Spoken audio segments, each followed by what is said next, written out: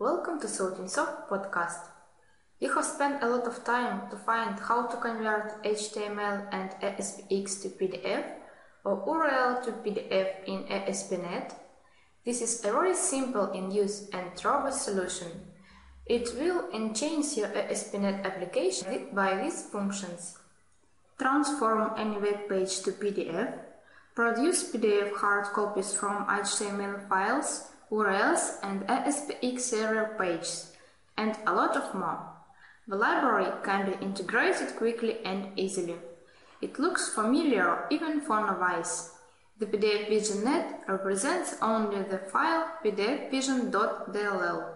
Simply copy it into your bin directory and place two lines of code. For example, let's convert a website well known for everyone now let's make a conversion of complex ASPX page to PDF. As a result, PDF files created with PDF VisionNet look exactly like the source, retaining complex layout of the original, including placement of headers, footers, columns and images on the page, formatting of tables and fonts.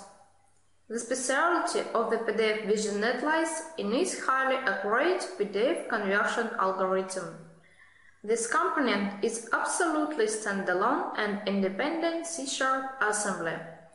It doesn't require anything else.